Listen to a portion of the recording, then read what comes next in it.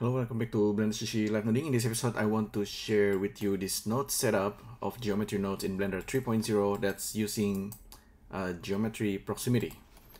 Alright, uh, before watching this, you might want to watch this uh, tutorial by Bradley Animations on geometry proximity.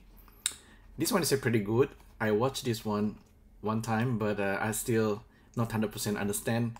This node is apparently uh, really powerful, but slightly tricky to understand um, unless you know and get used uh, to this kind of field working with the uh, proximity. Um, especially this position and source position is something that I'm still not 100%. But anyway, uh, this is the setup that I made and this might be useful for you to play around with. So there's a couple of, there are two different example okay yeah. The first one is this one where where this grid is being displaced by using the proximity and the distance of points into uh, the surface of this grid. All right so hopefully that's kind of makes sense. So we I started with a, a, grid as you can see here. This is the the main node and then I'm setting the position using something coming in. And I'm, I'm offsetting the grid. Um, what's influencing the grid however is this geometry proximity into something the target. So the target is this text object that's being generated from this. You might have seen similar tutorial somewhere um, in the past, maybe from from James Redmond or like Red Gem, Red Gem 9. Um, yeah, anyway, so we have this text, right? String and I resample the text into points in this case. And then I use curve curve to mesh realize instance. And there's this transform node but geometry proximity is generating the distance from this text to the surface of the grid. Play around with this uh, I think it's you can use edges or faces depending on the geometry. If you want to use the surface maybe um, you can use the face. Maybe this is what you want.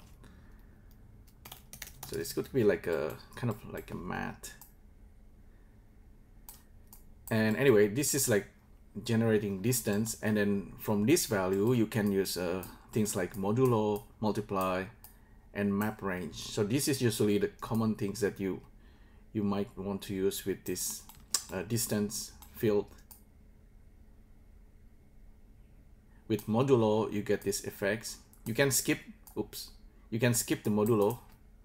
If you mute this you get just this result. Multiply is making things more like uh, contrasty. Modulo will repeat. And okay, I'm currently using smoother step. By default, it's actually set to linear. I think smoother step will give nice result. And then you can play around with this clamping of value and range mapping. Notice here the, uh, the value from 0 to from original minimum and maximum.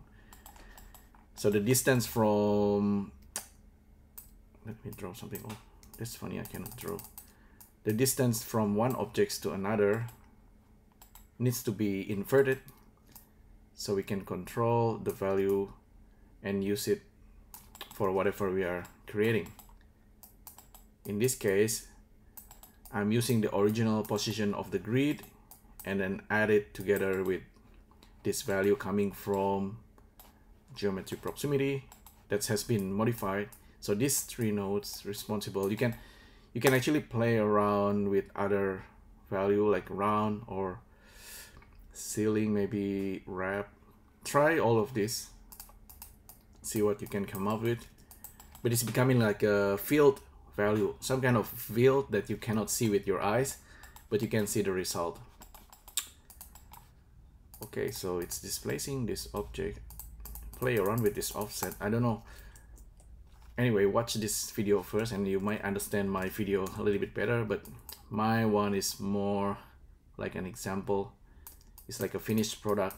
You can replace this grid with other objects. The nice thing about uh, the way I think of this uh, geometry proximity is like a little bit like dynamic paint brush and canvas. So the brush is this text object. Um, it could be it could also be like uh, something like mesh circle for example. Uh, let me try I think I made a mistake. Or I need to zero out something okay. Because this is a mesh circle so it's just a circular object.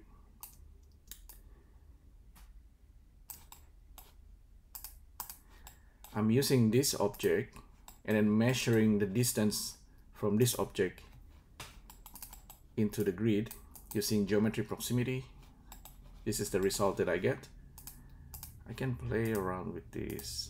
So you can actually have like an actual face or you just simply use the edge.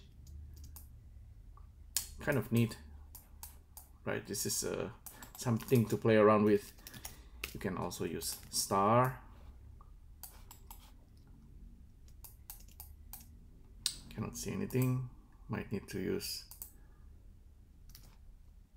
transform or this star is probably a circle uh it's a, it's a curve so you need to turn it into mesh object.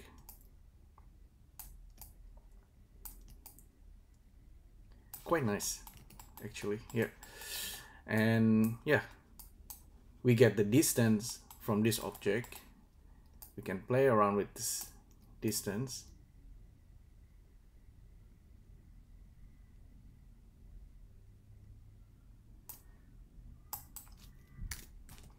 Scale so it's a, because this is like a field field node um, so there's some kind of field that you cannot see with your eyes but we can use the value uh, with modulo multiplier play around with this step remapping and just combine it into combine it back into a vector and then we use it just to disturb to displace this object in my other example okay this is like displacing the grid in the other example here I'm using it to generate points which is uh, also pretty interesting so if you use, uh, if we go back to the text, okay, I, I might need to just give it a color. This is the nodes that's responsible.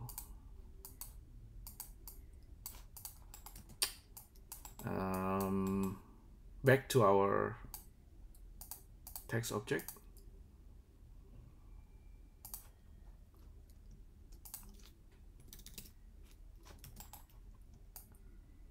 So this is our modulo. So we can see like uh, this is look, looking like sands.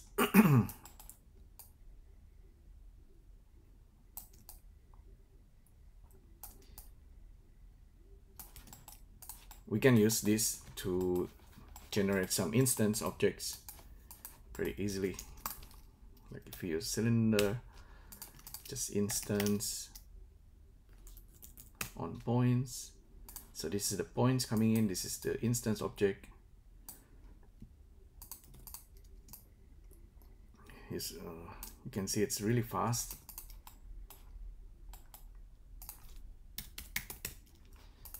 So we have like a like a mat, you know, like welcome, or you know, you can write in like blend. This is like a floor mat outside your door. Uh, fill curve distribute face on instant okay. Just center it and so it's becoming like a fur some kind of fur. You can use random value on the scale.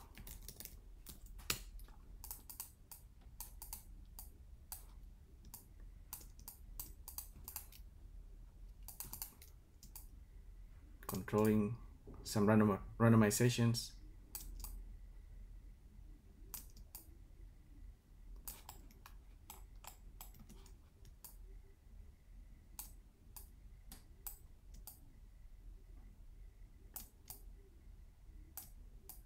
okay maybe I need to put the cylinder on the floor.